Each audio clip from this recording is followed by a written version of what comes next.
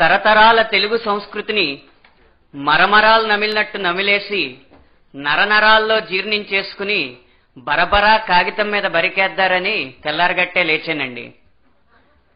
కోడి కూతకు కాదండోయ్ అలారం వాతకి పలారం వాసనకి. లేచి తలదువ్వకుండానే కలం పట్టి కాలు దువ్వి కాగితం ముందు కూర్చున్నానో లేదో కడుపులో రోకలి దంచినట్టు ఆకలి దంచేసిందండి. నాలుగు నూకలు పడుతుంటే నాలుక మీద నా సరస్వతి నాట్యం ఆడేద్దేమో అనుకుని పళ్ళానికి ఎదురెళ్ళానండి. ఆ పళ్ళెం మళ్ళానా? అన్నట్టు నాకేసి ఎల్లానో చూసింది. పట్టించుకోకుండా ఓ పక్క కాగితం ఓ పక్క కంచం పెట్టుకుని కంకణం కట్టుకుని మరీ కూర్చున్నాను. కంచం పని అయిపోయింది. కాగితం ఖాళీగానే మిగిలిపోయింది. అవునులేండి పొద్దున్నే లేచి సద్దన్నం మాని బ్రెడ్ అన్నం వేసినప్పుడే సగం గొర్రె చచ్చింది. సర్రుమని ఒక ఆలోచన వచ్చిందండి. స్నానం చేసి స్నానం చేస్తే ప్రాణం లేచొచ్చి కవితాపానం చెయ్యొచ్చని. భుక్తాయాసంతోనే ఆవేశంగా బయలుదేరా. కానీ కుంకుడు రసం లేని తలస్నానానికి కుంకుడు రసం లేని తలస్నానానికి కుంచుకుపోయింది నా భావావేశం. నలుగు పిండి లేని తెలుగు స్నానానికి నలిగి నాలి నలిగి నానిపోయింది నాలో కవితావేశం.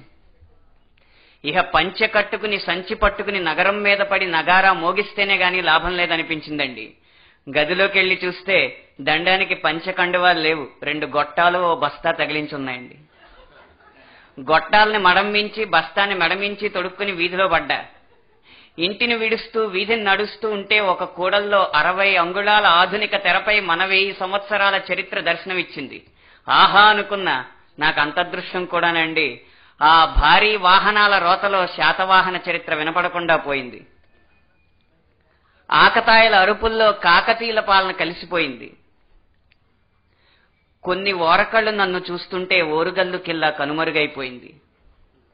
ఇక రాణి రుద్రమ్మ గురించి భద్రమ్మ గారి ఇంట్లో తెలుసు కదా అని అనుకున్నానండి. ఆవిడకి తిరిగెక్కడండి పాపం? పగలైతే మొగుడి కేకలు రాత్రి అయితే మొగలి రేకులు. పోని వాళ్ళ కూతురు ఆవిడకి కావాలి చిన్నారి పెళ్ళి కూతురు.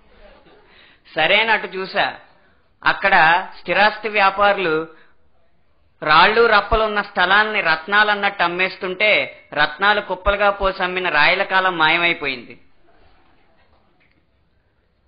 నీరసంతో నిరుత్సాహంతో నీరు గారిపోయిన నాకు నాన్నగారి మాటలు గుర్తొచ్చాయి. ప్రపంచ భాషా వాన్మయాలలో తెలుగు సాహిత్యానికి మాత్రమే సాధ్యపడిన ఒక అపురూప ప్రక్రియ పద్యం పద్యం అత్యంత హృద్యం రసాస్వాదనగన్న రసస్వాంతాలకది కమ్మని నైవేద్యం అంతెందుకు అలవాటైతే పద్యం కూడా ఓ మద్యం అని. ఇదేం చోద్యం? అనుకుని చెల్లియో చెల్లకో ఎత్తుకున్నానండి. పక్క నుంచి చెమ్మకు చెల్లో చెమ్మకు చెల్లో పాట వినిపించింది. ఆ చెల్లియో చెల్లకో వదిలేసి ఏ పిల్లకో బుల్లికో గీత వేసుకుందామని నడిచాను. నడిచే దారిలో సీసాలెత్తే వాళ్ళని చూస్తుంటే శ్రీనాథుడి సీసపద్యాలు గుర్తుకురావు బయట పడుతున్న పెద్ద పెద్దోళ్ళ భాగవతాలు వింటుంటే పోతన భాగవత పద్యాలు గుర్తుకురావు ఇదేట్రా దేవుడా తెల్లారితే ఉగాది. ఆరు రుచులు చూడకముందే ఆరు ముక్కలన్నా రాద్దారనుకుంటే పనవట్లేదు. అనుకుంటూనే ఆ సమూహం నుంచి నిస్సహాయంగా ఇంటి ముఖం ఇంటి ముఖం పట్టాను. ఇంటిగాడ కాళ్ళు కడుక్కోటాకి ఇత్తడి చెంబెక్కడ? ఆవకాయ అన్నం తింటాకి అరిటాకెక్కడ?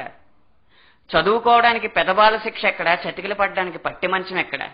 ఆఖరికి ఆత్మీయంగా తెలుగులో పలకరించే ఆలుబిడ్డలు ఎక్కడ?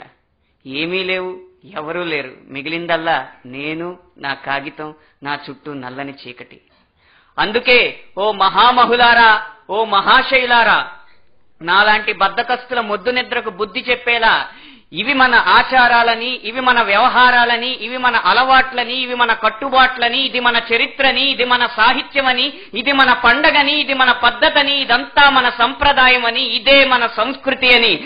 గడగట్టి బేరికా డాండ డడాండ డాండ నినదమ్ముల జాండము నిండ మత్త వేదండమునెక్కి ఛాతి చెప్పండి. తరతరాల మన తెలుగు సంస్కృతి కాంతుల్ని ముందు తరాలకు అందజేయండి. అవి అజరామరాలని నిరూపించండి. ధన్యోస్మి.